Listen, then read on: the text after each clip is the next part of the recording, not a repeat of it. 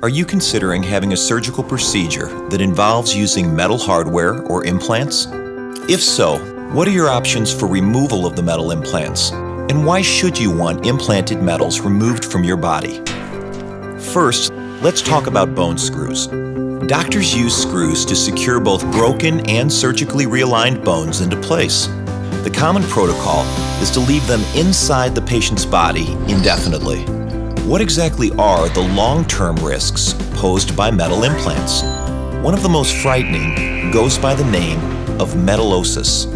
Metallosis is when the metal in the screw breaks down inside the body, damaging the tissue surrounding the implant. This can cause symptoms of extreme pain, swelling, inflammation, and even bone deterioration. In addition to metallosis, metal allergy is also being recognized as a major potential problem. Did you know that even small metal screws can actually affect the bone's ability to bend and flex? Let's see how this works.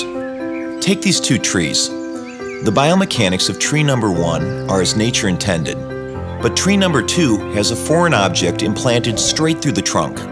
Notice how when exposed to extreme weather conditions, these two trees react very differently.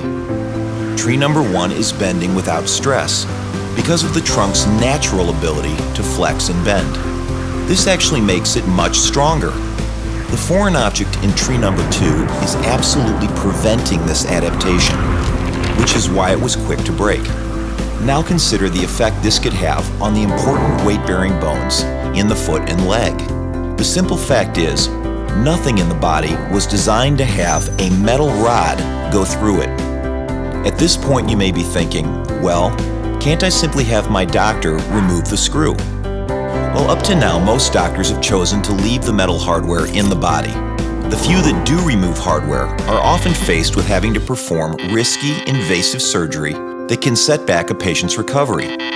This is because conventional bone screws were designed a lot like carpenter screws, which are countersunk into bone. So getting them out is often harder than putting them in, requiring larger incisions and unnecessary trauma.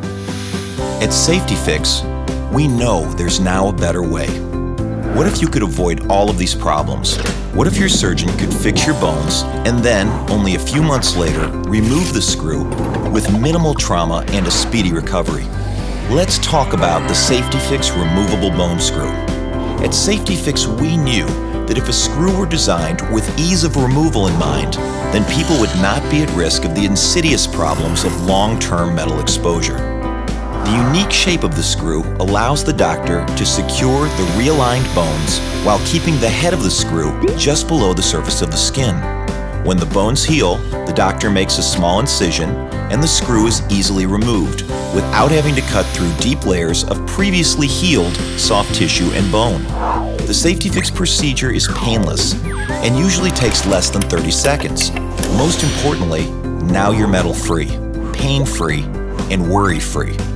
Safety Fix is truly the simplest, safest, and easiest fixation device for many simple fractures and surgical osteotomies. Safety Fix is proven. Now many patients are living happier, healthier lives metal free. Safety Fix is FDA cleared and patented in the United States with patents pending in many countries. The Safety Fix message is simple. Why in the world would you keep a metal object in your body if you don't have to? Ask your doctor about Safety Fix.